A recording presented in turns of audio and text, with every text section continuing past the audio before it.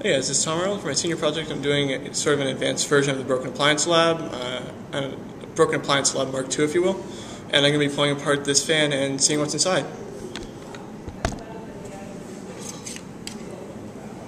So, first off, there's a screw in here that has a star-shaped head and a strip, so I'm going to have to drill that out.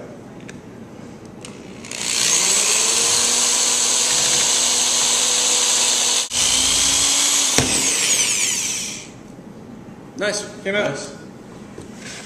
Your dad was right. Yeah. Okay, so now I've gotten that strip screw out, I can just take the others out with a screwdriver.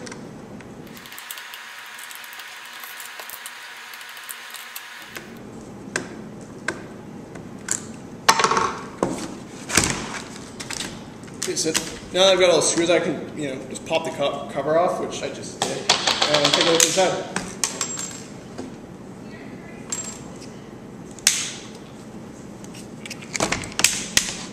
So the basics are the fan blade, the motor, which is behind the fan blade, which I'll show you later once I can get it out, and the wiring. And so right now I'm just gonna take the rest of this.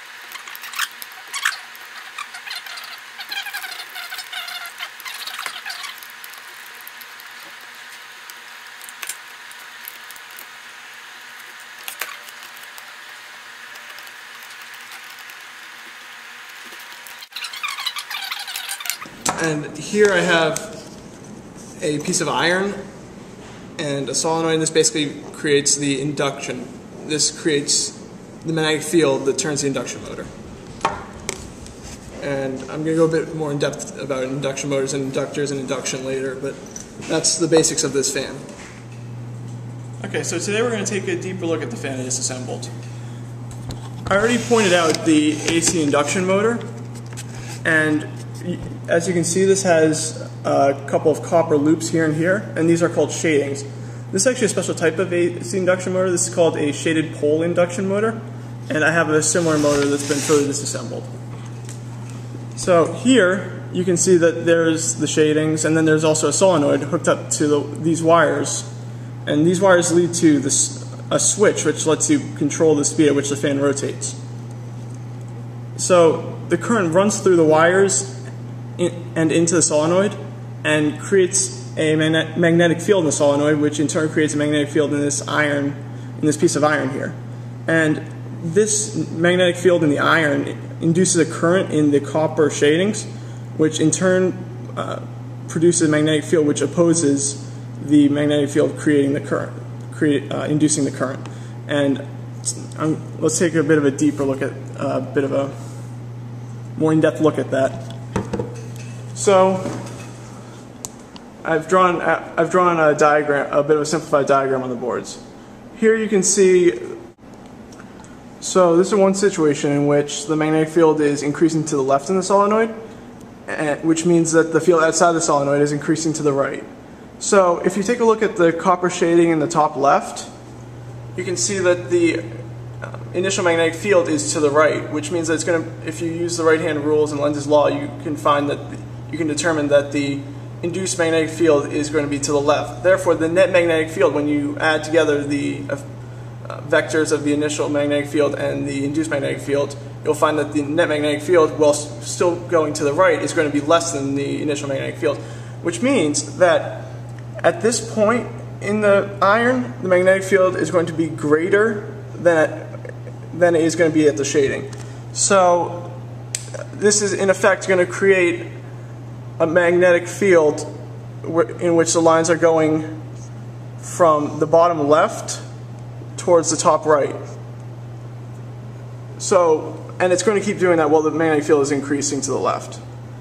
However, when the magnetic field starts decreasing to the left, you're going to get a situation in which, in that same, in that same shading, the, the initial magnetic field is to the right, but the induced magnetic field is also to, to the right. So when you add these up, you're going to get a net magnetic field to the right that is greater than the initial magnetic field. So you're going to get magnetic field lines going from the top left to the bottom right.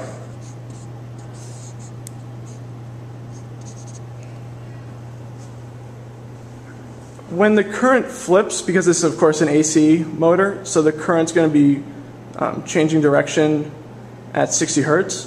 When the current flips, you're going to get a magnetic field that's initially increasing to the right.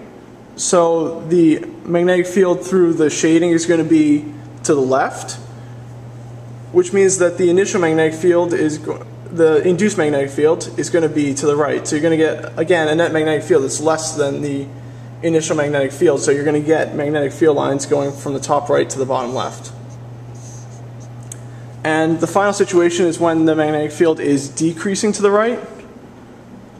So you can see that the initial magnetic field is again going to be to the left, but the induced field this time is going to be to the left as well. And this is again going to create a net magnetic field that is greater than the initial magnetic field. Only this time the net magnetic field is going to be to the left. So, and in this case, you're going to have magnetic field lines going from the bottom right to the top left. So, in effect, this AC current and the solenoid and the shadings combine to create a magnetic field that, that rotates around in a circle.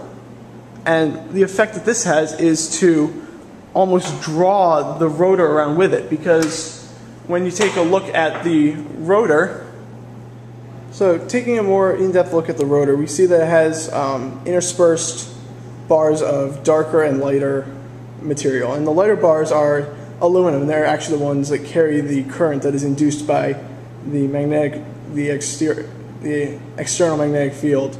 And the way they work is that the current flows along the vertical, the slanted aluminum bars from uh, either from the essentially aluminum rings on the bottom and top.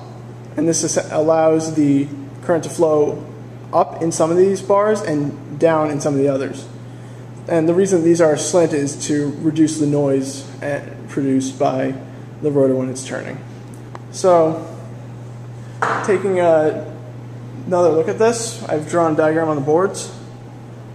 So the way this works is that for the purpose of this example, I'm going to say that the magnetic field in the solenoid is increasing to the left.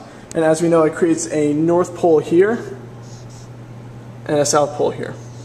And magnetic field lines that go up to the left. So for the purpose of this example, I'm going to consider the rotor as if it were just a loop because it's easier to consider a loop than it is to consider a say 20 vertical bars. So this loop is comprised is composed of the essential, essentially the aluminum conducting ring on top, which is this, and then the two the bars that go from the two from the lower ring to the upper ring. So if you can use your right hand rule to determine that the current flowing through this part through this bar would be coming out of the board, and the current flowing through this bar would be going into the board, thus forming a circuit in which a current flows. And again, you can use a right hand rule to determine that the force acting on this on the bar where the current is flowing out of the board is um, like this. I'm sorry, that's a very bad drawing. It's like this. And the current acting on the bar where the current, the magnetic, the force acting on the bar where the current is going into the board is like this. And that essentially, those two forces essentially cause the bar or the rotor, I'm sorry, the, those two forces cause the rotor to turn in a circle and follow the rotating magnetic field. And, and that is essentially how a squirrel cage rotor, as this rotor here is called, works.